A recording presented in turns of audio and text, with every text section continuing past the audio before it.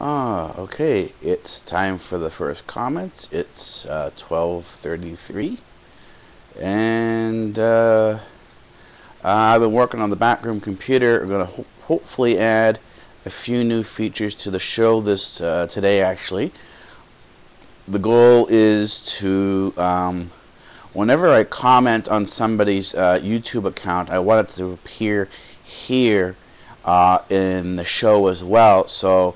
Uh, what I will be doing, I'll be making two comments today as I went around YouTube and I found uh, something I can comment on. Uh, I will uh, uh, basically put the clip up first and attached to it will be my comment. So the person who I'm commenting on can see that as well. The people in the show can see this. Who are, who are viewing the show can see this as well.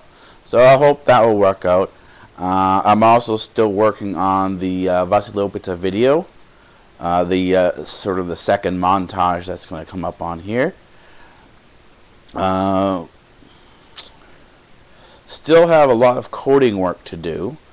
Uh, there seems to be a um, a lot of disorganization in the uh, Linux community where it's not necessarily their fault because it's, it's the community is a loosely based community where uh, people come and go as they choose and so uh, there's no real tracking of code in, ter in, terms of seeing which code is the best and which code uh, needs to be improved and uh, uh, those types of things. So uh, what I hope to do is I'm, I'm continuing to uh, map out the uh, Linux environment to see uh, what needs to be done and what doesn't need to be done. Uh, I've found there, there seems to be a disconnect between the GNOME and the KDE environment. that's one of the areas I'd like to work on to sort of smooth the operation. Open Desktop, even though is a, is a view that all programs, no matter what desktop they are designed to run in, should run equally well on each other's desktops. So there's basically three main desktops, uh, GNOME, KDE, and uh, X. These are the three main desktop desktops that uh, are used by the community. Uh, Ubuntu just uh, about uh, actually since version 11 uh, this for, so it's been about a year now introduced a new desktop called Unity which uh, was based on the control of Compiz. That still has a long way to go because it violates a lot of the principles of open desktop in that it's not backwards compatible one of the things with about, Linux, and I was uh, actually at uh, my my parents' house last night uh, doing laundry and having dinner, uh, and I brought uh, some videos uh, of Christmas and the Vasilopita over to upload to my dad's computer. My dad still, when he bought his machine, it came with Vista, and he's still on Vista.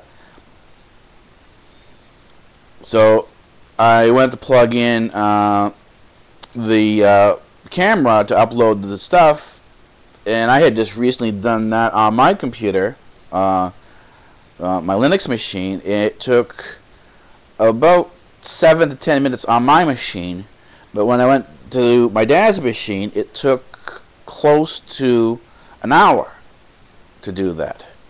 Um, so it, it, it th this is where you, look at if you look at Linux uh, on a machine by machine uh, comparison, where the machines are are in, certain, in many ways equally um, equally configured. So his machine was a two two gigabyte gigabyte machine. My machine was a two gigabyte machine. Uh, the processors were appro approximately equal. So by those that by that hardware spec the upload times should have been about the same but it wasn't so uh, and this is sort of what brings up this whole whole uh, issue between Linux and uh, Windows is that while people may point out some of the bugginess of Linux. With Linux, I've always been able to find a workaround and find something that, that where I have a solution on the desktop. Where in Windows, when a problem came up, there really wasn't a solution. There wasn't really any way to go around this. So when you compare, uh, uh, uh, and this even is, you know, this even extends to when you're upgrading from one Windows version to the next Windows version. That let's say you upgrade uh, from you upgraded from uh, XP to Vista and then to 7.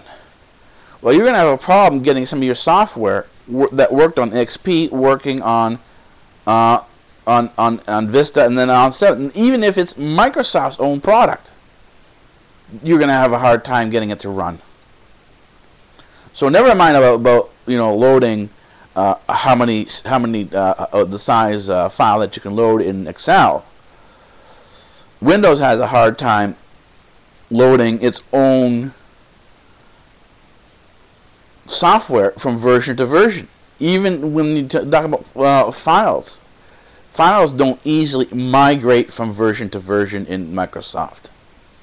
So when you look at the bugs in comparison, uh, uh, and my choice overwhelmingly, if because I have this technical skill that I, that I don't mind sitting down and working around the bugs, uh, Linux is my choice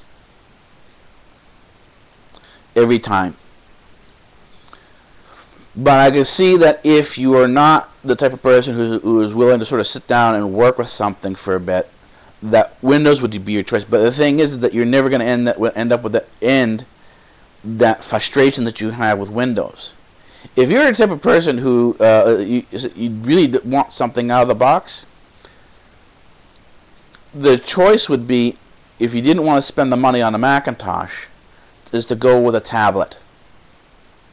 Right now, your choice, the best choice for the average user, is a tablet. It has most of the functionality that a PC or a laptop would have. And this is for the average user. And it has portability. And with this connect is, Wi-Fi and, and phone connectivity, you have uh, basically you're you can have your internet anywhere you want to. You're not really tied down, so you can really operate and work on a tablet. I mean, even if you, if you wanted to be so uh, uh, you know PC as to say you wanted something lap a laptop a laptop style, um, you could go with a netbook, but again you'd be running the same problem that you'd be, you'd be running Windows. What you would you want to move off the Windows platform, and the one that provides the best platforms for the cost is an Android an Android tablet. Android uh, produces uh, uh, something something comparable to Apple in terms of what it offers, but it doesn't have the drawbacks that uh, Microsoft has. And if you don't know who Android is, Android is Google. So basically, your two choices uh, for tablets and the uh, smartphones, uh, avoiding the Microsoft trap trap of getting into their products and then being locked into their products uh, is either Android or uh, Apple. Those are the two. Those are the two. Uh, but barring that, uh, these are sort of my suggestions from what I've seen other people uh, in their comments on both Windows and Linux and I think what's going to happen over the next few years is that you're going to see uh, basically the desktop and even to a larger extent the laptop really being uh, pushed back in favor of the new tablets that are coming out and the ones that have already come out. So, uh, as for today, moving on to the next topic, And I think that's where I have a problem. I have a problem segueing from uh, or moving from one topic to the next. Um, I still have a little, mo- little bit more fixing up to do back here. And uh, I said, we should see some of the first uh, comments coming out later on today, uh, probably within about an hour or so.